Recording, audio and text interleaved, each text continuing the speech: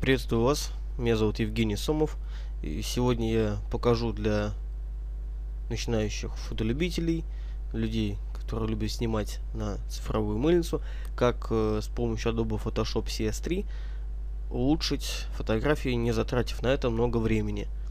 Итак, вот у нас есть такой снимок. Сейчас мы будем его чуть-чуть улучшать. Итак, мы заходим в изображение, коррекция, автоматическая тоновая коррекция. Далее коррекция, автоконтраст. Далее коррекция, автоматическая цветовая коррекция. Далее коррекция, уровни. Опять нажимаем авто. Изображение, коррекция, кривые. Вот в кривых, э, смотря по фотографии, что лучше будет или что хуже для нее.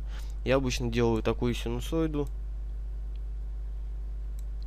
Чуть поднимая светлые участки и затемняя темные. Нажимаем «Да». Вот, в принципе, и все. Вот мы открыли изображение, было таким. Вот мы закончили. Стало гораздо лучше.